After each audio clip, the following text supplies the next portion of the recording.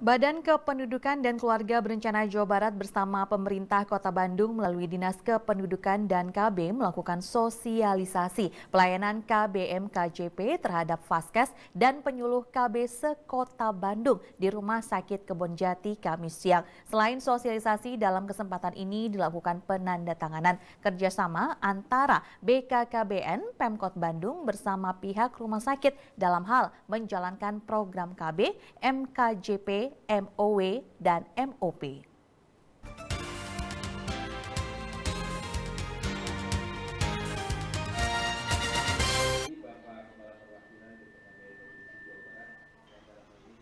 Badan Kependudukan dan Keluarga Berencana Jawa Barat bersama pemerintah Kota Bandung melalui Dinas Pengendalian Penduduk dan KB melakukan sosialisasi pelayanan KB MKJP terhadap Faskes dan penyuluh KB sekota Bandung di Rumah Sakit Kebonjati Kamis siang.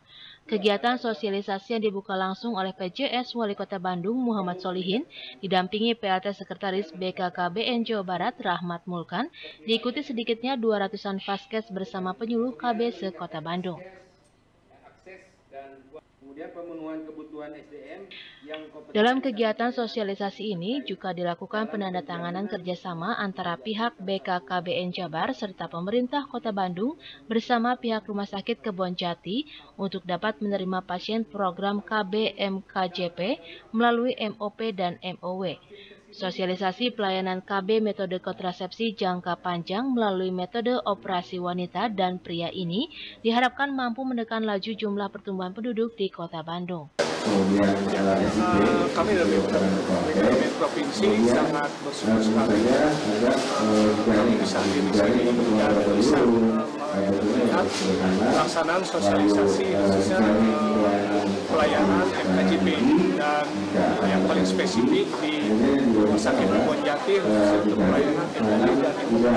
Dan ini uh, salah satu hal baik bagi kami khususnya untuk pelayanan MOW karena uh, rumah sakit Konjati itu uh, dengan pelayanan MOW Interpal ini bisa dilaksanakan di Kota Bandung dan mudah-mudahan ini bisa dikerjasamakan dengan BPJS dan selama ini rumah sakit uh, Kebonjati belum kerjasama dengan BPJS sudah Pemkaiman tapi dia sudah bisa melakukan uh, melaksanakan pelayanan MOW dengan sesuai SOP dan ini sangat baik sekali. Pihak Pemkot Bandung pun akan terus melakukan upaya kerjasama serupa bersama sejumlah rumah sakit swasta di Kota Bandung, agar nantinya seluruh rumah sakit di Kota Bandung dapat melayani pasien program KB MKJP melalui metode operasi wanita dan pria, dengan syarat dan prosedur yang sudah ditetapkan. Uh, kalau yang mempunyai kepedulian penuh seperti yang dilakukan oleh rumah sakit Jati, uh, rumah sakit Jati, kalau yang lain kan rumah sakit pemerintah justru yang kita harapkan kalau transfer pemerintah sih jangan sudah tidak bisa dipermasalahkan lagi ya karena itu merupakan kewajiban dari uh, pemerintah. Justru yang kita ingin uh, dorong adalah keterlibatan rumah sakit swasta. Semua semua unsur di pihak swasta yang tidak hanya rumah sakit tetapi juga unsur-unsur swasta yang lainnya yang bisa melalui CSR juga membantu program-program pemerintah di antaranya masalah kesehatan dan dalam kegiatan sosialisasi ini pun, BKKBN bersama Pemkot Bandung menyerahkan bantuan alat kesehatan mini laparotomi kepada pihak Rumah Sakit Kebon Jati, Kota Bandung. Kebon Jati, ya tentunya kita juga ada juga apresiasi kepedulian kepada Kebon Jati. Termasuk kita akan melakukan uh, perjanjian kerjasama dengan pihak Rumah Sakit uh, Kebon Jati supaya pelayanan KB uh, khususnya MOW dan OP yang ada di Kota Bandung bisa dilayani di sini, gitu kan? karena yang uh, baru rumah sakit Bonjati.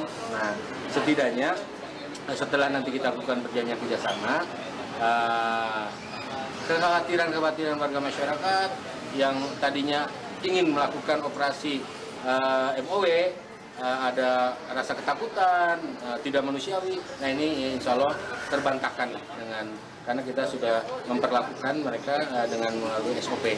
Ke depannya Pak. Yuwana Kurniawan, Bandung TV.